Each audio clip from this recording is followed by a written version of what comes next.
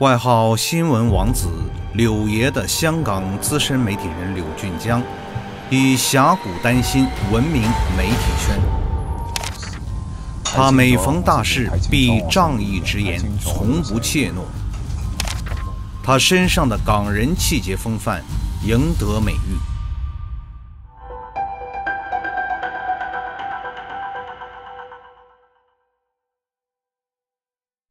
新的一年刚刚开启，有“新闻王子”美誉的香港前无线电视知名记者柳俊江，却在家中烧炭轻生，结束了四十二年的短暂人生，令无数香港人深感惋惜。一月五日，柳俊江在大埔黄叶澳村住所去世的消息传出，让好多人感到震惊。因为他在十二月三十一日还参加了香港的马拉松活动，并没有出现任何异样。元旦时，他在 Facebook 写道：“什么是一定拥有过却捉不住的？是昨天。什么是永远都快来到，但永远都没有来到的？是明天。每一个昨天都是过去式，每一个明天只是未来式。”并许下2024年的目标，要把握当下，做自己喜爱的事。刘俊江 Facebook 的最后一则贴文发布于1月3日，是他参加马拉松的照片。他自言要改变紧跑的姿势，发现做的还不够。他在 IG 上陆续分享柳爷说话教室课程时间表，呼吁大家可以开始报名。没想到五日却传来他轻生的消息。好多香港网友说，柳俊江跨年后的发文看起来都很正面，实在没有想到他会走上绝路。那么，为什么这样一个努力、善良、充满活力的年轻才俊会选择离开呢？回顾柳俊江的人生经历，可能会找到一些答案。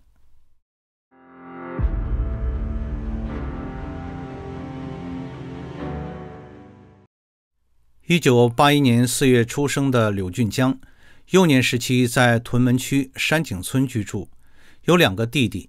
因家境贫穷，他十四岁就开始兼职打工，当过私人补习老师、送货工人、地盘工人、超市理货员与跟单员，还做过临时演员。柳俊江出身寒门，却天资聪慧，才华横溢。他凭借自己的努力，在二零零三年。获得香港浸会大学传理学院新闻系学士学位，毕业后做了一名媒体人。二零零二年至二零一零年，柳俊江担任无线新闻部港闻组、中国组高级记者，并被派驻北京和广州，后转任专题记者，负责《星期日档案》等新闻特辑节目的编辑和采访工作。他参与采访报道过二零零五年香港世贸会议。二零零八年四川汶川地震、北京奥运、毒奶粉风波等多宗两岸三地重大事件。汶川发生大地震后，柳军江和采访团队在恶劣的环境中徒步两天，到达地震中心映秀镇，成为全球第一位进入映秀镇的国际媒体记者。他们拍摄的灾区现场画面被多家国际主流媒体引用。刘俊江报道汶川地震一举成名。二零零八年六月，他开始兼任主播，先后担任过无线午间新闻、六点半新闻报道、晚间新闻和港台议事论事等节目的主播和主持。刘俊江在新闻界以敢言闻名，多次为维护新闻自由而发声。好多人不知道。原来早在二十年前，柳俊江就曾为新唐人电视台记者梁真被中共代表团拒绝采访而即场提出质疑。二零零四年六月八日，大陆奥运金牌运动员到访香港，新唐人电视台记者梁真在记者会上提问，被代表团副团长何慧贤打断，直接说不太愿意回答你的问题。并质疑梁真参加发布会的目的，声称：“你这个电视台，我们了解你的背景。”当梁真表示希望对方进一步解释时，会场有人抢走了梁真手中的麦克风。同在记者会上的柳俊江之后获得提问的机会，他追问何慧贤为什么不回答美国媒体新唐人记者的提问，却回答其他台湾及大陆传媒的问题，是否与新唐人关于法轮功的报道有关？对于柳俊江直指法轮功问题的提问，何慧贤没有正面回答，并很快结束了记者会。而梁真在记者会后成为众多媒体围访的对象。一场中共大外宣的表演，成为正是中共剥夺新闻自由的事件。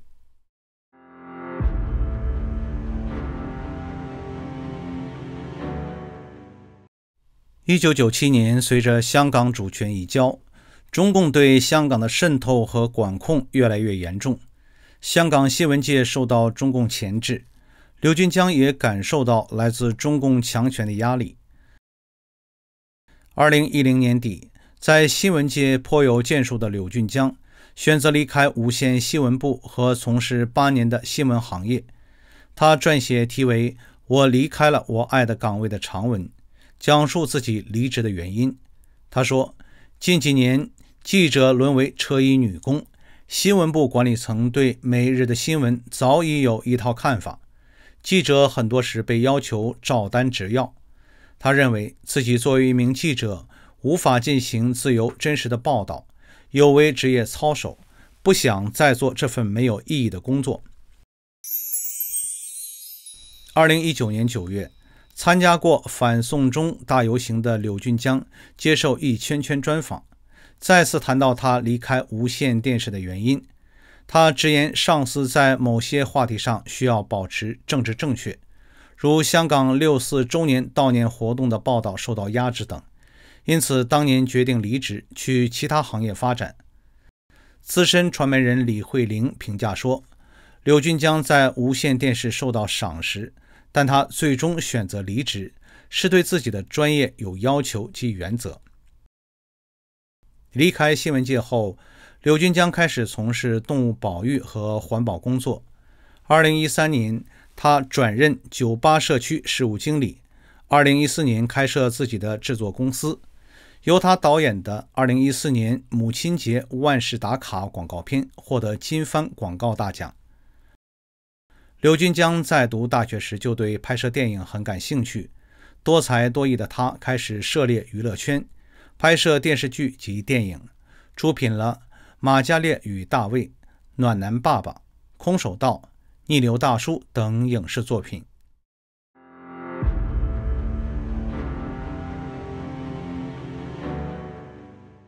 刘俊江离开新闻界后，仍然关心时事。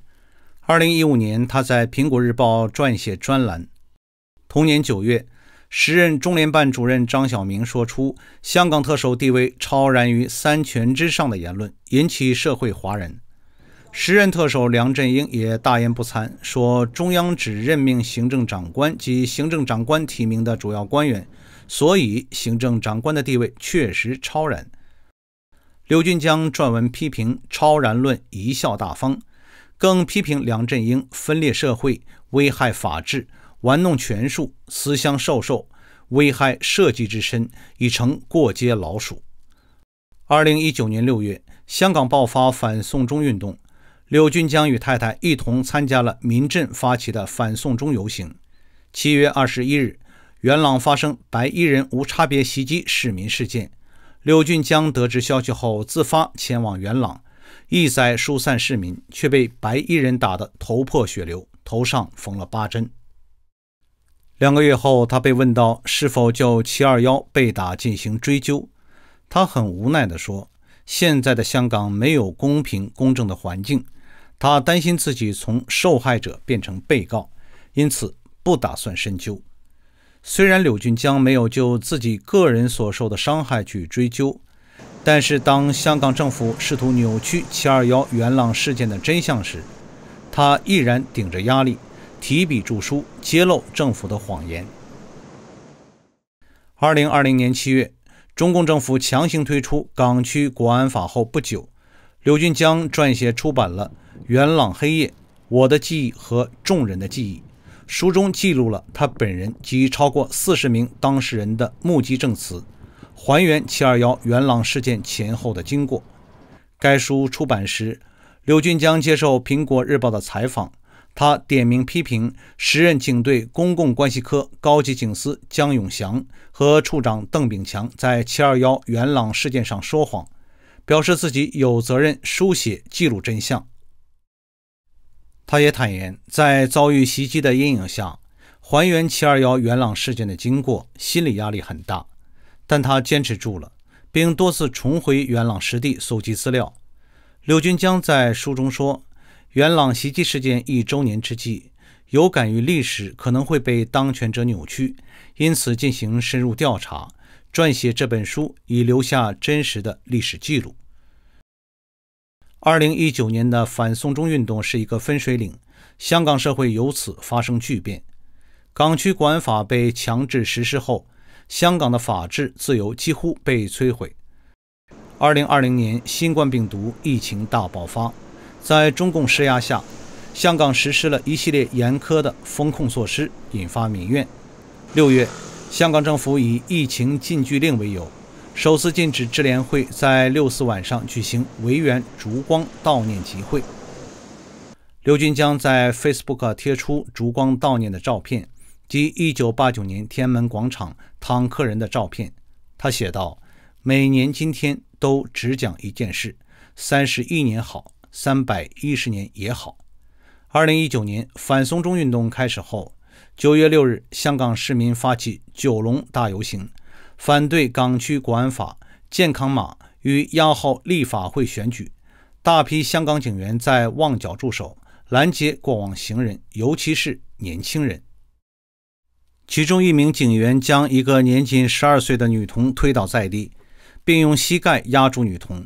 香港民众对警员的做法十分愤怒，批评警方滥用武力。据女童母亲说，她的女儿和儿子在逛街买颜料，没想到无故受到惊吓，女儿身体受伤，心理上更留下阴影。柳俊江在 Facebook 大骂香港警方。打完大肚婆，打细路女，渣子都不足以形容香港警察恶行。他也坦言，我想写几句之时，竟然有一刻想过要按下，因为文字狱随时到来。柳俊江的担忧并非空穴来风。中共推出港区国安法后，无限扩大香港警察的搜查和拘捕权力，彻底摧毁了中英联合声明及香港基本法保障的一国两制框架。使香港失去了原有的高度自治。自港区国安法生效后，至少五十多个香港民间团体和组织被迫关闭，二百四十多名民主活动人士和反对派政治人物被以危害国家安全逮捕监禁，还有许多人被迫逃离香港，流亡他国。苹果日报、立场新闻等亲民主的媒体也被迫停刊。整个香港被笼罩在中共强权的阴影之下时，每一个香港人都感受到令人窒息的压力。许多人因此逃离香港，移民他国。刘军江为了避开中共强权，离开无线电视，离开新闻界，但面对越来越严苛的言论管控，他对香港的现状感到失望和无奈。从他在 Facebook 留下的文字中就能够感受得到。刘军江去世后，他的家人通过柳军江的 Facebook 劝慰大家：生命宝贵，我们相信柳爷尚有壮志未酬，请各位好好生活，为未及目标跑下去。